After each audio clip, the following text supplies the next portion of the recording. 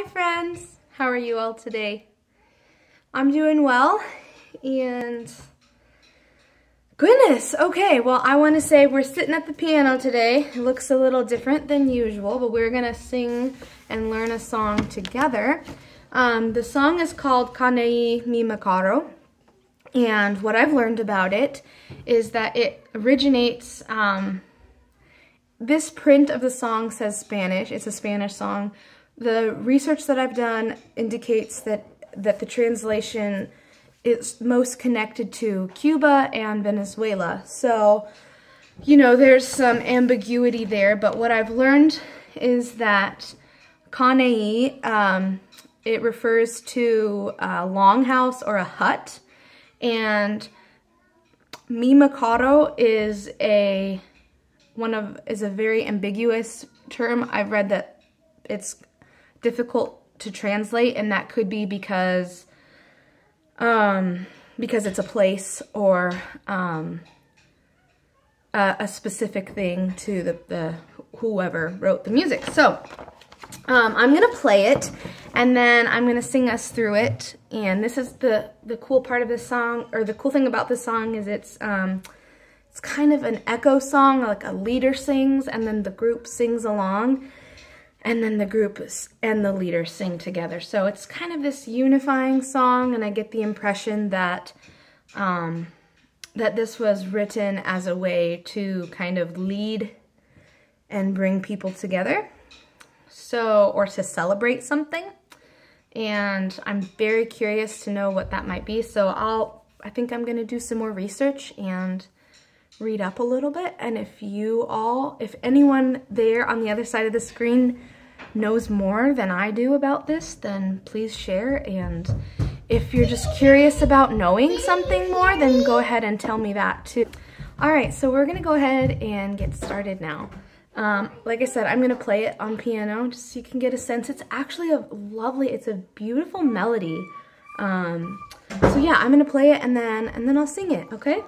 And also, before I do that, the, the, other great thing is that it's very repetitive. So even if you can't pronounce the words, and I may not be pronouncing them totally correctly, but um, even if you can't pronounce the words, you can sing on la or you can hum, and it's just lovely. It's lovely, lovely melody. So here we go.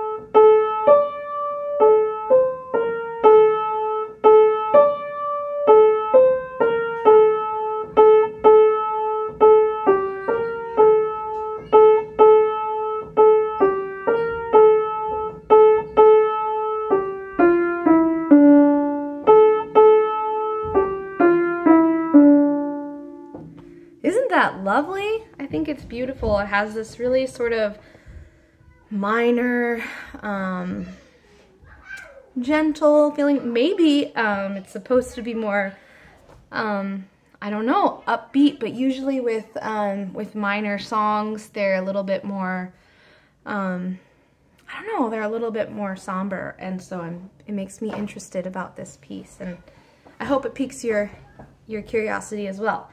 All right, so I'm gonna go ahead and sing it. I'll probably sing it in little parts and then um, put it all together. So this first part here, this first phrase would, would be the leader phrase, and then after that, the group would come in and sing with, okay?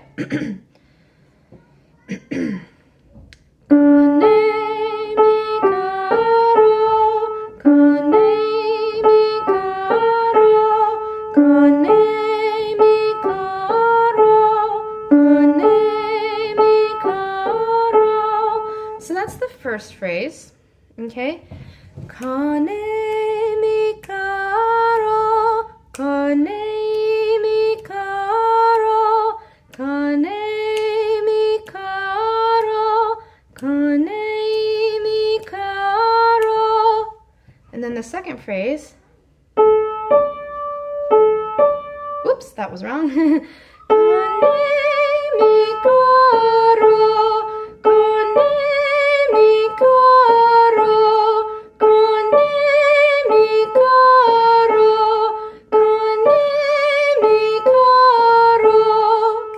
second phrase.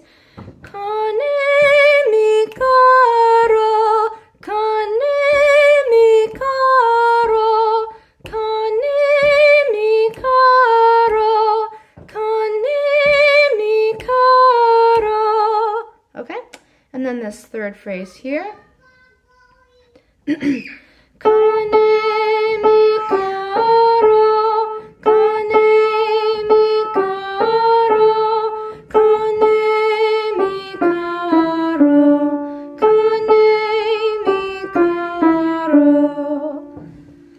that second phrase, or that third phrase, sorry, it starts just like the first phrase.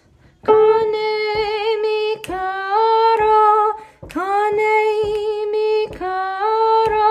but it ends a little bit differently. Mi mi.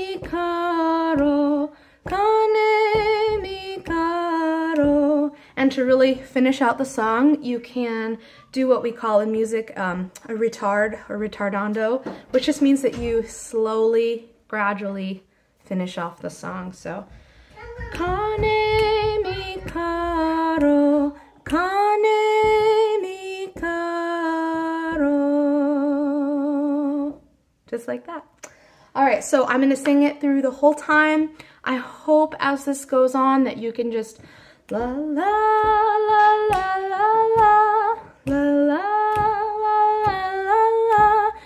sing it, uh, listen to it a couple times this week, and then maybe you can pick up on some of the words too. All right. Kane mi karo, kane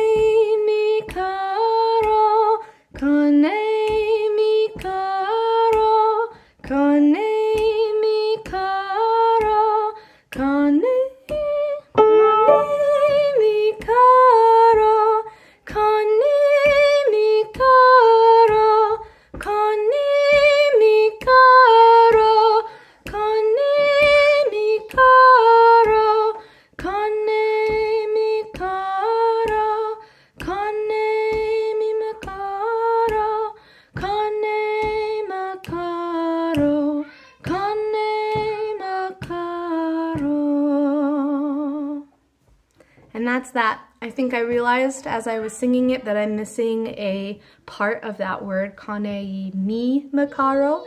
Um, so it would be Caney mi Macaro, Caney mi Macaro. But even just taking in um, the, the melody there and taking in, you know, even bits and pieces of of the translation can kind of give you a visual of like maybe why this song was written or who who wrote it and um, you know what inspired this this writing so um, I hope this takes you to a place of empathy and wonder and just an opening of the mind and the heart to other ways of living, other cultures, other times, um, and yeah, and that you just feel the the you just feel the music in the way that it was maybe intended to be written.